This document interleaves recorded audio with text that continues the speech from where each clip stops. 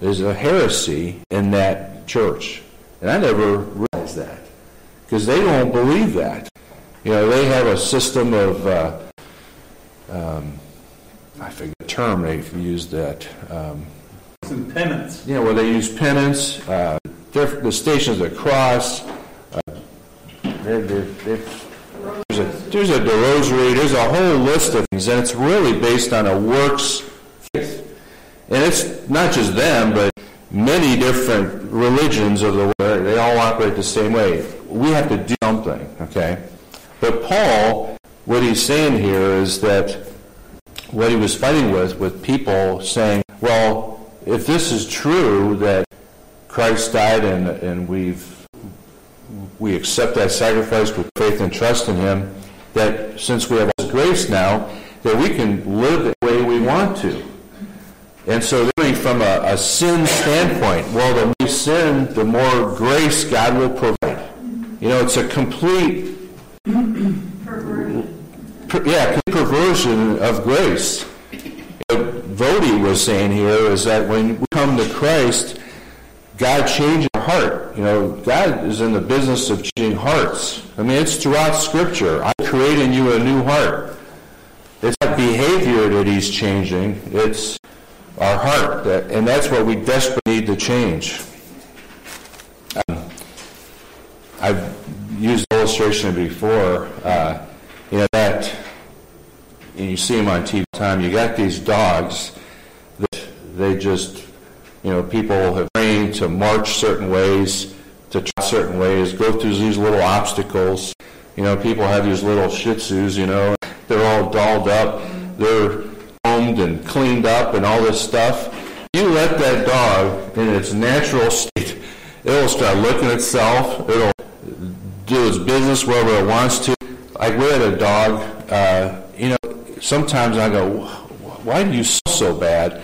And here he'd be rolling around in some dead thing out in the yard. And you know what? That little $4,000 toy dog is going to do the same thing. You give him a chance, he'll in the dead stuff because his heart hasn't changed. Because He- he- don't like that, and that- to the dogs, that's natural. It is natural. And see, when you're dealing with the world, you're dealing with the natural man. The natural man does what he does. We're seeing it on TV, what man is really like. And you know what? It's a lot worse.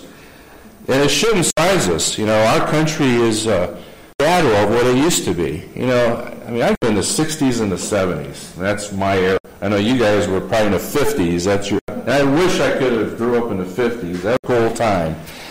I think. I it was a really good time. But, you know, I was like the 60s and the 70s, and, man, it's nothing like, I mean, it wasn't that, I mean, we had, you know, I mean, I used to watch my mom, Walter Cronkite, every night, how many GIs we lost in Vietnam. And, man, I don't want to get older because want to end up there, you know. So things all that super, you know, but compared to today, No, they were burning Detroit, they were rioting in Chicago, just they are. Yeah, in '68, I remember. Well, yeah, and we left Cleveland to you know move out in the country in '69, '70. So my dad said we've got to get out. And today, the neighborhood that I grew up in is a ghetto. It is worse than Beirut. My brother made a mistake of going there and going his wife at the time, uh, you know, the neighborhood, and he gets out of the car, starts walking around the block, and within a short time, they were starting to come out and you know, come at, and, and it's all he could do to get in his car and get out of there. And I used to walk from that house, you know, eight blocks to school every tw- three times a day, morning, lunch, and come at night. You would never do that today. So man is not evolving; we're devolving. So, but when God comes in and changes the heart, we are a different person. So, um, Paul here, and you see the heart in these verses when he's saying, What shall we say? Are we to continue in sin that grace increase? May it never be. How shall we who die in sin still live in it? This is the thing that, in what he was saying, we really don't understand the gospel and all the technical aspects of salvation. We just have to trust and believe. And, it, and it's not till now, years later, that I'm starting to get glimpses of different things, how my heart did change. I have a, diff, I have a different value. I remember one of the things when I was a kid, wasn't easy growing up in my family. Um, I was not uh, encouraged and said I was going to be good, this and that. I mean, anything, anything opposite. But I can tell you one thing, when put my faith trust Christ, all of a sudden I had value that I never sensed before. I felt like God, well, if he could die for me, and I put my faith and trust in him, there's value in that. Do you realize that? The ones that God chose and brings to himself, they have value. You don't have that in the system, but you have value as a believer. I mean, God paid a very high price for us, and He's not going to reject you at some point. Um, once you're His, you're His. But along comes with that is a change of heart. So now in verse 3, or do you not know that all of us who have been baptized into Christ Jesus have been baptized to his death? This is one of the things people technically don't understand. When we come to Christ, you are literally dead to sin. So, and in turn, when you die to sin, you die to self, You're actually become alive to God. You are of some value because God did something with you. You can't do anything with you before because you're dead in your trespasses and sins. And you can't come out of it on your own, on our own. God has to step in, do the work, make something out of you so you could be of value. And so we have an infinite risk because God paid for this. So in verse 4, therefore we have been buried with him through baptism to death. So this is just some you know, we all like to laud people who, you know, step in the baptistry and, you know, get wet and come out, right? That's not the end all. You know, unfortunately, you get a lot of these family members who are very unsaved, you know, come to their granddaughter or their kid's baptism because that's the big thing. You know? But that's not the end all. That's just the beginning. You know, I remember, uh, you know, they make a deal about high school graduations and people still go back to high school reunions. When you really, I'm like, why do that in college? You only do that in high school. You only you spend four years, but apparently it's a big four years because people keep going back every five to ten years. A big thing. But when you graduate, that's just the beginning of your life. You know, that's not the end. But I have friends who still Man, it took them decades to get over. They just they keep living high school. You know, I'm like, man, get over it. You know, the life actually starts at 18. I mean, you join the military, you tend to. Oh, by the way, I found out reading through the Old Testament, biblically, the God didn't, didn't ask military guys to join at 18. The age was 20. You know that? It's actually age 20, not 18, that God actually wanted you in the military. No, and no, actually, it was service. So anyway, so life actually starts at 18. So here in uh, verse 4, I'll just start it. Therefore, we have been buried with him through baptism into death, in order that as Christ was raised from the dead through the glory of the Father, so we too might walk in newness of life. So our life actually begins as we raise up out of the water, as and don't be mistaken, water baptism isn't salvation. It's a visual of what happens when we die, buried, and come to life in Christ. It's a picture. There again, I hate in the Catholic Church, but it's so easy. Um, you know, there's a huge emphasis baptism.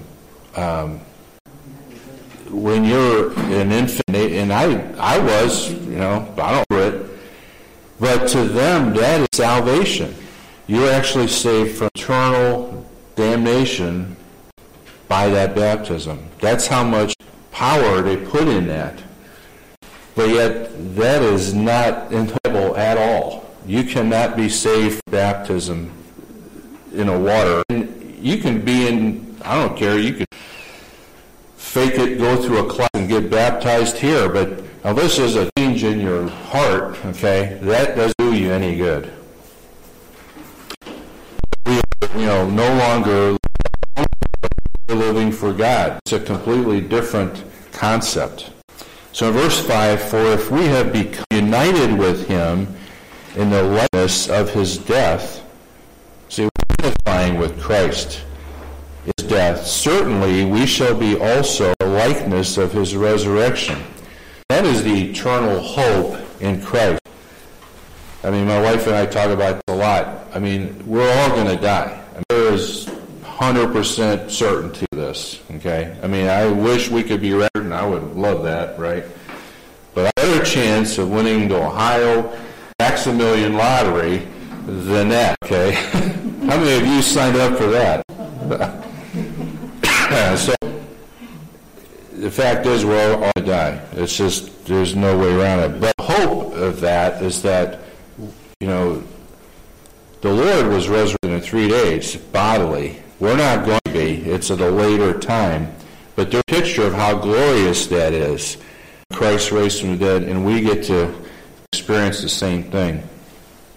Verse 6 So knowing this, that our old self was crucified with him, that our body of sin might be done away with, that we should no longer be slaves to sin.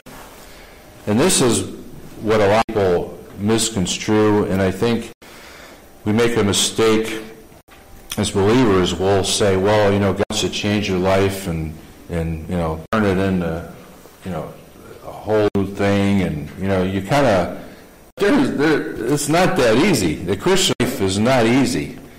Um, because there's a sanctification process that goes along with it. The moment we're justified, that's not the end. That's just the beginning. God's goal is to transform us into becoming like His Son. That's the plan. That's the goal. That's why we're left here. I mean, the cross didn't even get a chance to get sanctified. I mean, he, he got to glory within an hour or two.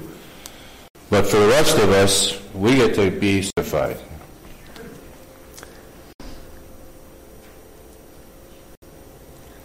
In verse 7, he who has died is free from sin. So there's the uh, another hope is that we are no longer slaves to this sin. Um, and when Scripture says we died to sin, he means business. I mean, and, and by nature, we would want to please God. You know, just like uh, if when we were uh, kids in our parent home, we want to please our parents, and our kids want to please us uh, because you know we want to be loved, and that should be our desire for God. Is we want to please Him, we want to be obedient. Before we couldn't.